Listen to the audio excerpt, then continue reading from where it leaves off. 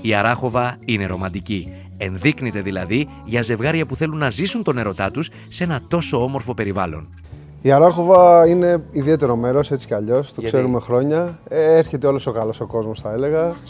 Και ήρθαμε κι εμείς τώρα πρώτη φορά μαζί. Μέσα σε δύο μέρες δεν κάνουμε κάτι άλλο. Μόνο τα περπατάμε, σταματάμε, βγάζουμε φωτογραφίες, Φωτογραφίες και βίντεο. καμιά αγκαλιά.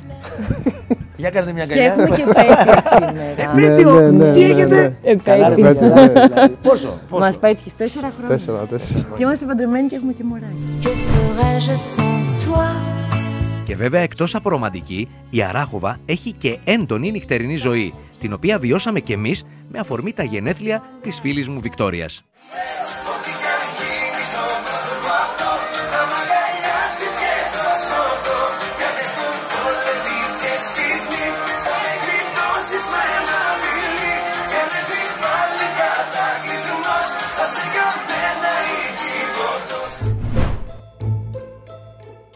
Αν κάνετε ανακαίνιση στο ξενοδοχείο ή την όποια τουριστική επιχείρησή σας, για παράδειγμα Airbnb ή ενοικιαζόμενα δωμάτια, τότε πρέπει να εμπιστευτείτε την Alpha Wood και τα οικολογικά και πιστοποιημένα προϊόντα ξύλου της. Για περισσότερες πληροφορίες για όλη την γάμα των προϊόντων της Alpha Wood, της μεγαλύτερης βιομηχανίας ξύλου στην Ελλάδα, μπείτε στο alphawood.gr.